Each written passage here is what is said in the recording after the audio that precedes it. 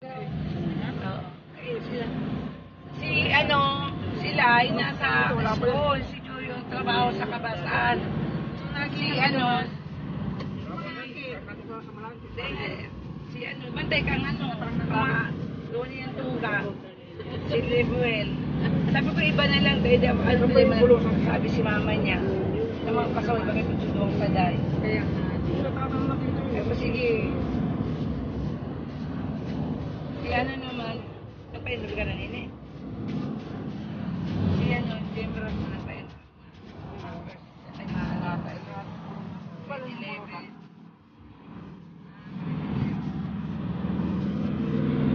Nagpa-enroll si Sandy na.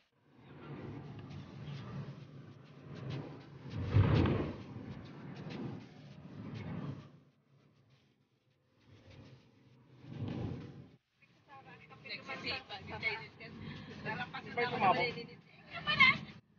mo lamang nabutan si Lulong. May nadabaon. Madabang alin. Madabaon ng ating mga pamangkin. Si, si Anay Dani. Hindi mo lamang nabutan si Lulong. Madabaon ng mga Anday na na ano si ano. Balas pa. Ay, tayo. Ay, de. Na.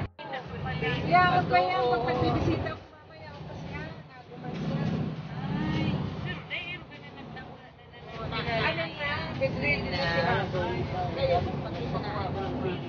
Police yung lula niya. Lula, lula ni Dave. Dinindi na ako. Nakita na to. Ano ka lang nakinini? Nabutan pa man. Abutan na. Nabutan pa si Manay. Bibi pa siya. Bibi pa siya. Ay, yung isa ka. Papa niya. Ina.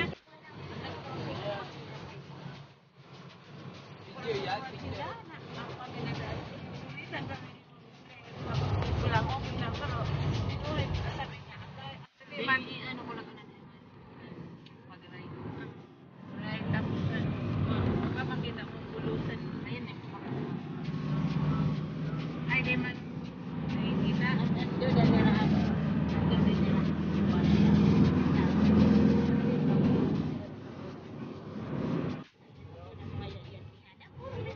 Ano yung relo niya? Kaya sa bago na Lucinda may sabi ko. Ito Lucinda.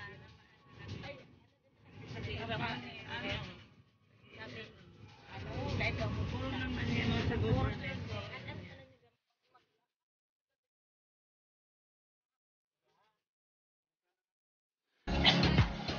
Hi dudes! So, good morning sa inyo. Dito naman po kami sa sa. San Benon Erosin pa rin. So, maliligo kami mamaya. So, ipapakita ko sa inyo. So, tara. Pasok tayo.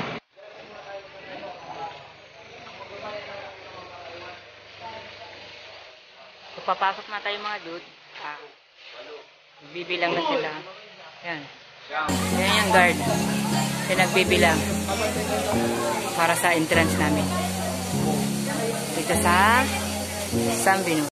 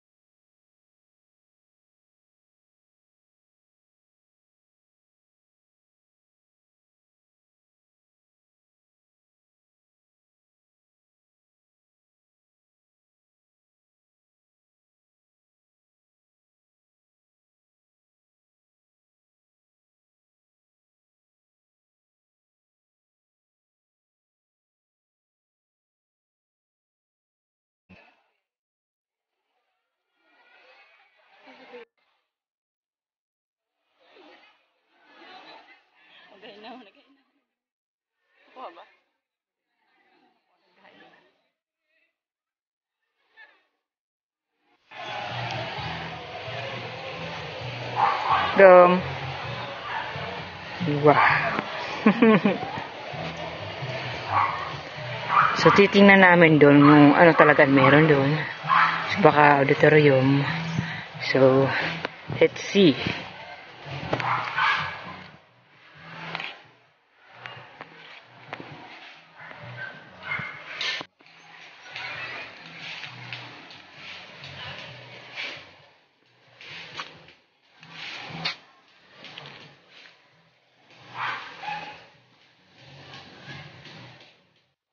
Ah, so yan na nga mga dudes, nandito kami sa ano, sa malaking bahay. Yan. Pero actually, hindi ito bahay. Eh. Ah, kantin po to. May mga tinda kasi mga soft drinks sa likod namin. Alak. So, ito, matagal na kasi itong tinda yung kantin na to eh. Halos bata pa ako noon. Pero medyo hindi pa maganda itong sambinan, sambinan na to. So, nakatayo na itong kantin na to. Kaya medyo luma na. Ayan, napapansin nyo sa likod na, sa likod ko. So, luma na.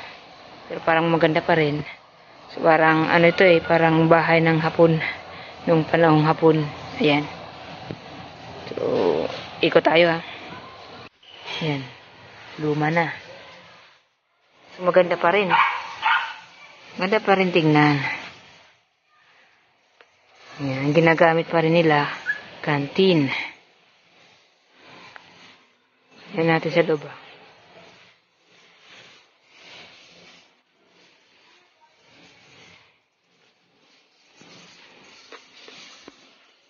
Eh, luma na pala to. Ito sa kabila, hindi na ito lang ginagamit. Ayan. Tagal na kasi to eh. Ayan.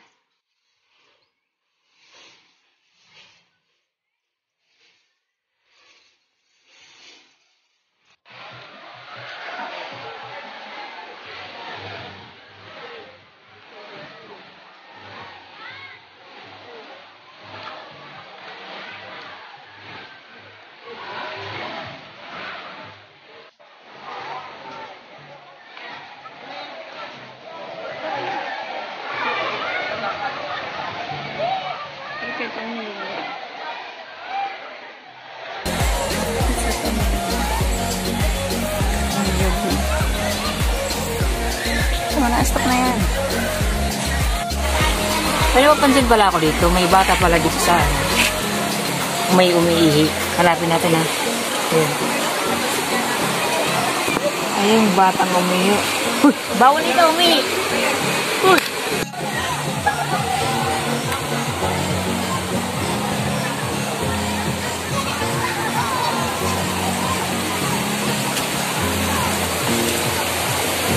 Tataas man.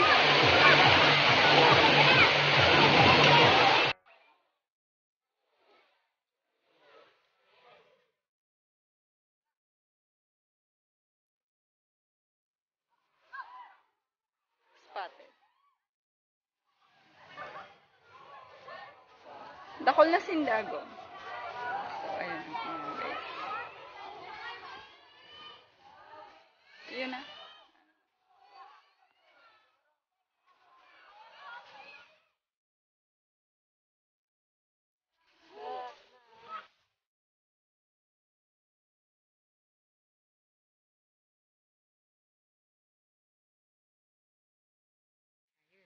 Ito yung pangbata ko.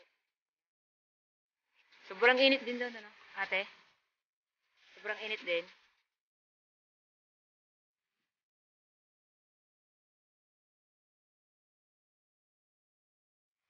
Nga, partner. Partner, tingnan mo nga kung mainit.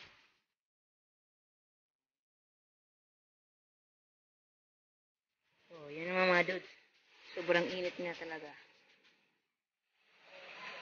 Yan, mainit yung tubig na to.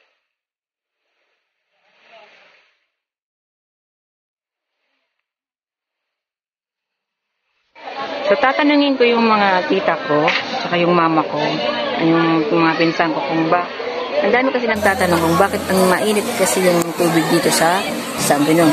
So, andun sila sa ano sa taas. So, tatanungin na natin na. Tara. Ah, mga bata, tatanungin kita. Bata. Bakit? Ah, binata pa lang. Bakit mainit dito sa yung tubig sa San Binon? Panuga po. walang yelo. Paano po? Panuga po ako. Kasi walang yelo, hindi dinagyan ng yelo, kaya mainit. Ah, yun. Hin ah. ah. Kamulan mo doon. Sagutin, sagutin, sagutin. Ano? Bakit mainit yung tubig sa San Binon? Palaharan sa balikan. Malapit sa bulkan. Kaya mainit yung tubig dito sa English? San Binon. Why? Mm-mm. Got the surface. Because. Yun nga. Kaya malapit yung bulkan dito. So, yun yung sagot. Ma, tanungin kita. Nabiling ko ang cellphone ko sila. Wait lang, ma, tatanungin kita. Ba't mainit yung tubig sa San Binon? Mainit ang tubig sa Sambinon kasi nung isang araw nagpakulo ako ng tubig. Eh. Natapon ko dito, nakarating Sambinon. Yung totoo. Bakit nga? Kasi mainit ang Sambinon kasi ang tubig dito galing sa bulkan. Yun. Bulkan, merong, nag, merong part sa bulkan na mainit ang tubig. Yun, yun yung Galing sagot. sa, sa bulkan ng bulusan. Sa kabilang naman nito, other side sa bulkan, meron din lumalabas malamig. Hmm. Bakit mainit? Ang tanongin mo. Kasi mainit ang ulo ko. Na- mainit ang May ulo ko. loading. Tapos lumublob ako dun sa tubig. Ayun, uminit ang tubig dahil sa init ng ulo ko. Kana. Ah, mga dudes, mag-experiment tayo ha. Tingnan natin kung matutunan ito dito. Kung gaano kainit yung tubig. So, let's see. Mga dudes. Yellow. Tara. Tara, tara. Hindi lang to to.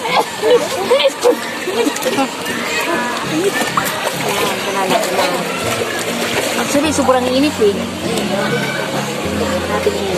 Hindi man yan maano ata. Kung ilang minuto, minuto ba? O, oh, sige. Maliwan pa ako. So, mga dudes, makikita nyo ito. Ito yung yelo ah. Medyo natutunaw na.